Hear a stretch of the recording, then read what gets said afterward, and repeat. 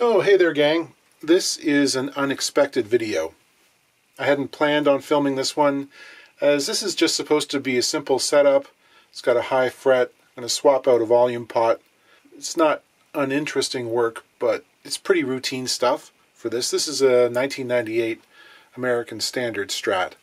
Uh, however, something just threw a monkey wrench in the works, and I think the game might be afoot. So I decided to turn on the camera I got to go email the customer to see what he wants to do because something funny is going on with his truss rod. Okay, I talked to him and he gave the go ahead. So the action on this thing is a bit high, getting up towards 7 64ths, and the saddles are a bit low. This is not too unusual. Um, you'd see that and ordinarily you'd assume that maybe the neck needs a little shim in the neck pocket. But the reason this is happening is the neck has a super large amount of forward relief in it. It's more than 25 thousandths of an inch. That's um, 0.63 millimeters, which is, you know, at least three times what I would want to see on this guitar. So I go to adjust the truss rod. And the first thing I notice is that the Allen key hex wrench here, it goes in, but it doesn't go in very far. Like it feels like it's just the tip, an eighth of an inch or so. Um, I can loosen it. It's fairly snug. But tightening it, it feels like the nut is bottomed out on the truss rod, which could happen, but there's other weird stuff going on. This is the Fender Biflex truss rod, and it's got a bit of a reputation. Um, first of all, the nut is buried under this plug here. This is walnut, and um, I think it's designed to be as unobtrusive as possible, trying to look like those old vintage necks from Fender's golden age. Uh, in the 50s and 60s, there was no plug here, obviously. Um, I think they made it walnut so that it would match up with the skunk stripe on the back side of the neck. Um, you know, it was it used to be just clean plain maple all the way up to the board because the adjustment for those rods was at the body end. On those guitars, you've got to loosen the neck and remove it or loosen the screws and tip it up enough to access the bolt. That's a bit annoying, especially if you've got a squirrely neck that needs regular adjustment or if you're trying to set up a guitar for the first time when it was really out of whack. It's a lot of back and forth. So in the early 70s, they went to the so-called bullet truss rods, which have a long cylindrical nut that tapers at the end, like a bullet, and it's exposed. You see it on the face of the headstock. Uh, these ones adjust using an eighth of an inch Allen wrench or hex key. They're easier to adjust, but I guess some people didn't like the look of them because reasons? I don't know. They look fine to me, and they work well too. In the early 80s, Fender came up with a design that produces a double action. So this rod can bend the neck backwards and counteract string tension like any normal truss rod would, but it can also bend the neck forward in the event that it naturally settles into a back bow when it's at rest. It's rare, but that can happen if you're using extremely light gauge strings, for instance, or the wood has just the inclination to bend that way. Wood is unpredictable. It's still a single rod. It's not an over-under design with two rods that you find on a lot of um, modern dual action systems.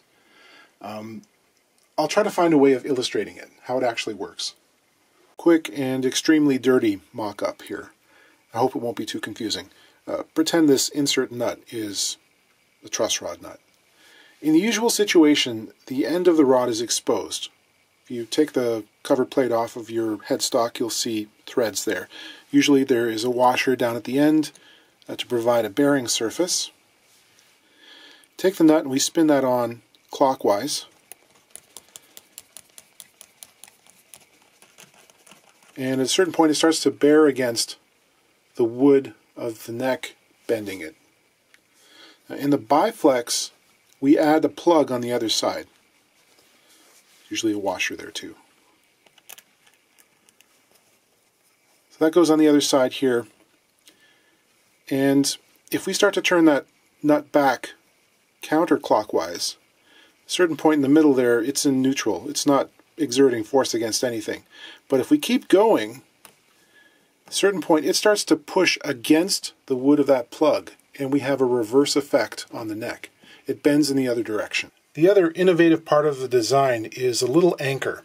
It's like a sleeve that goes around the truss rod and it has a bolt sort of threaded portion that um, is accessible underneath the seventh fret dot marker here. And that's important because what it does is it keeps the rod in contact with the front face of the curved channel it's sitting in. So the rod is always looking like this. It's bent forward. Um, so that's why that push-pull action has an effect. If it was just straight all the time, um, it wouldn't do very much. But because it's always held tight against the front surface of the neck, um, it can move backwards and forwards with that pressure. So this is a slightly complicated way of going about things. Um, dual action rods were popping up in the 70s, and I don't know, maybe there was a patent applied for situation where Fender didn't want to get tooled up to do something that another company might challenge them for. Because there are simpler ways of going about this, um, getting this push and pull action. Here's the usual over and under rod, which goes through captured end blocks. And nowadays there are low profile designs using a thin length of steel and the nut itself is actually welded onto the lower rod. It's all one unit. Um, these have the advantage for the home builder of being able to be installed into a straight channel without a curved bottom, so which is really difficult to replicate at home. Making a fender neck is not that easy. So it's possible they didn't want to stray too far from Leo's original design, just having the single rod um, and keeping that curve in there. You know, purists might say that it changes the tone. Because Fender is another one of these companies that really is, you know, I don't know, tied to their history in a way that is not always a good thing. They have to, you know, fight their own customers if they want to change. But this works fine. Um, it can cause some issues. Number one is it uses an eighth of an inch, just over three millimeter hex key, which is pretty small. Uh, there's not much wall surface against which those facets engage. So, you know, if you don't ins insert it securely, it's very easy to strip these nuts out. Squiers and most of the non-California made guitars these days have a larger um, hex head, so 4 millimeter or 530 seconds. It does make a difference. You know, they stopped using the Biflex for most models sometime in the late 90s, I think, but it lasted longer on some of them than others. I mean, I know until very recently, at least, it was used in the Fender Professional series. I don't know if the new Pro 2 ones have it or not. I haven't seen one of those yet. You know, there are even some Mexican made ones that look like they've got a biflex in them, but they're not. They're the standard straight rod. The other thing that can happen, and I don't know if this is the case here yet, but I'm starting to suspect it, I took a picture, I'll show you in a few minutes here, is that the small cross section of these wrenches makes it possible to snap them off in the hole if you try and over tighten the nut. In some guitars, it's possible to exert enough force to compress the wood against which the truss rod nut is bearing and possibly run out of threads because the truss rod isn't threaded all the way down at some point you reach the end. You can squish that wood in there, you reach the end of the threads. Usually it's the rod that breaks at that point. And unless it's a valuable neck, you'll write it off and buy a new one because the cost to save it by excavating and cutting some new threads on the broken end is about as much as you would pay for a replacement neck. So, like, you know, unless it's vintage, you're probably going to buy the new one. The hardware which does that is very expensive, and there aren't many shops that will outlay that kind of capital expense on spec, so they're not usually on hand. StewMac knows this, and they'll charge accordingly. The nut pocket is exceptionally deep on these guitars, and you need you basically you, you absolutely have to have a longer than usual Allen key to fit in there. If you use a standard one, it's not deep enough. You bump into the L part. Uh, so some people will try and use longer T-shaped handle um, or perhaps do the thing where they're angling down with a longer end sometimes with a ball end, because the other thing is you've got a string tree in the way. I asked the customer, and he says that it was last adjusted at a well regarded shop last year sometime, and the setup was not great when he got it back.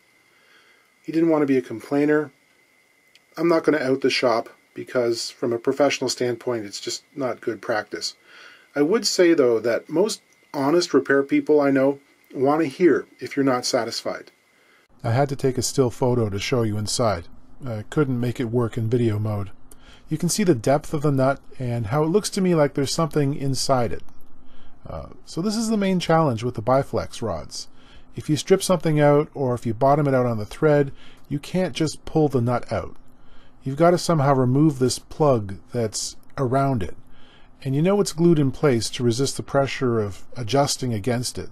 So this is a job I know about, but I've never actually done before. I'm going to order a new nut and also a replacement plug in case I have to cut this one to pieces to get it out of there. Uh, I'm going to see if I can try and do it without destroying it, but it's good to be safe, you know.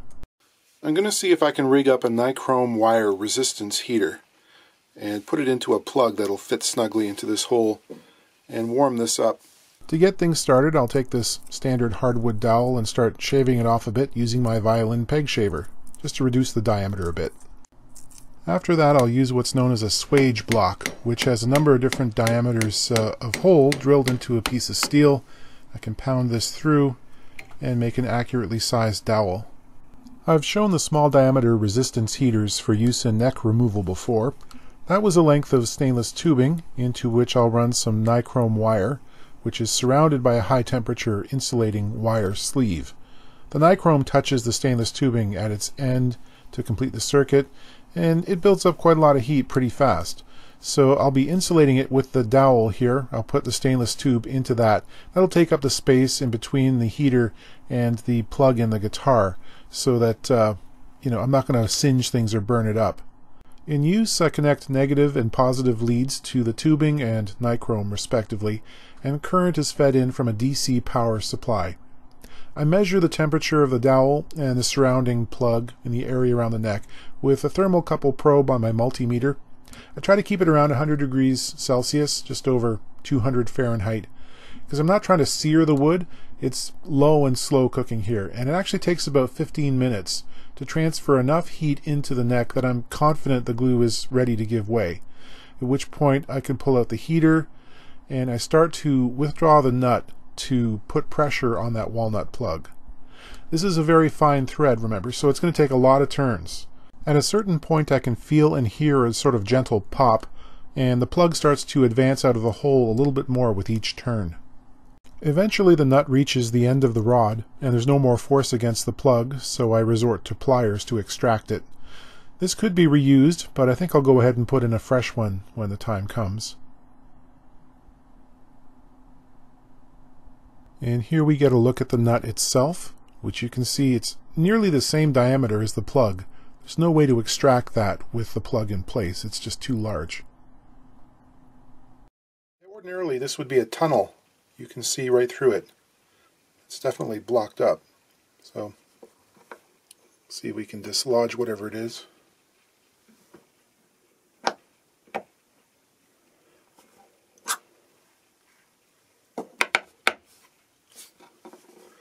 There it is.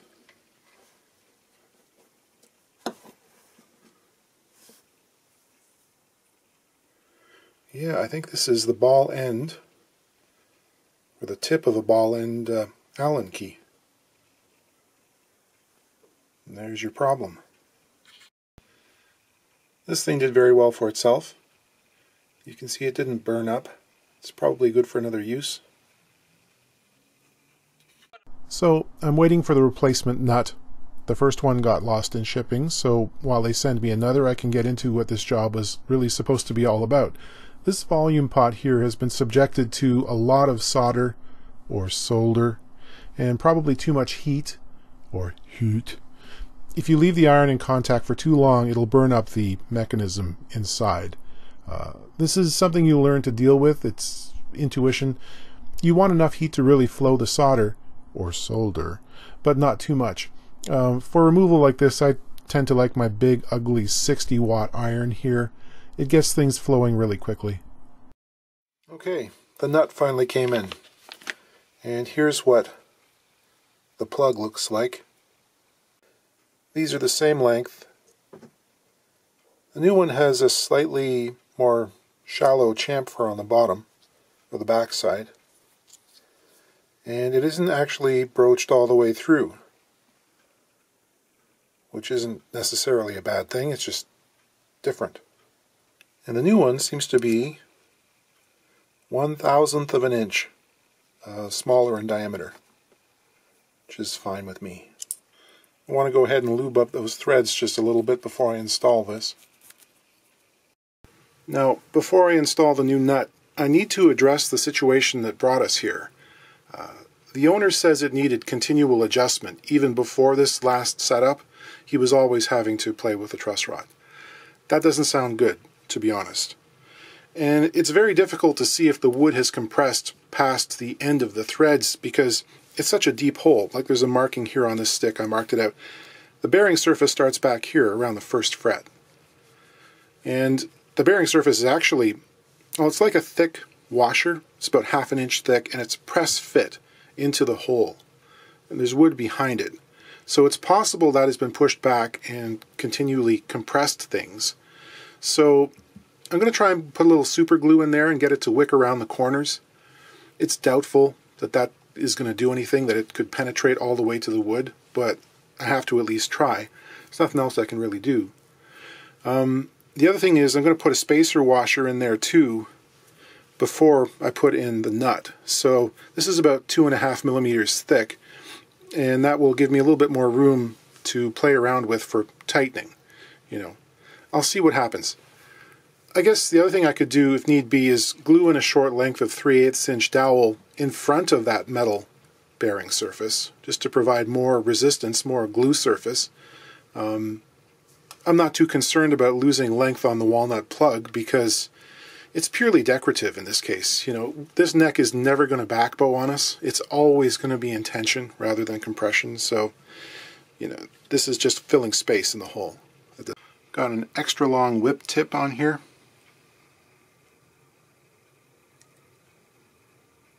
Be really careful not to get any on the threads.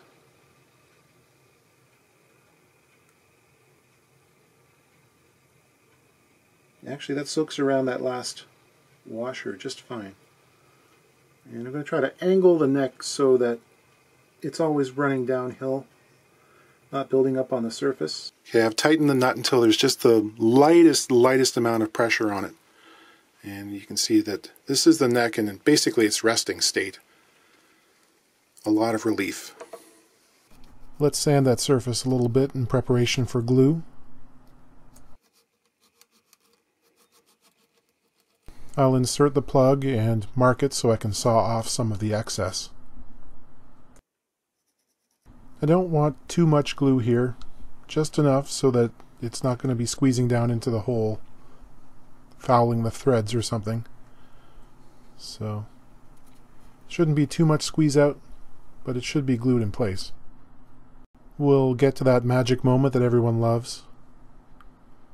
Sharp knife, careful movements, don't cut too deep. I'll try and get it as flush as possible using a razor blade scraper.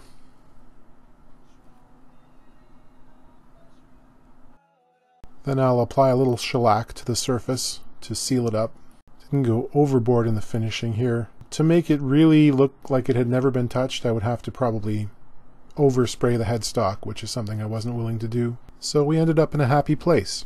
The action is 4 64ths, 16th of an inch, 1.5 millimeters. The relief is around 8 thousandths, which is okay. And now there's another trick in the bag for taking out these plugs.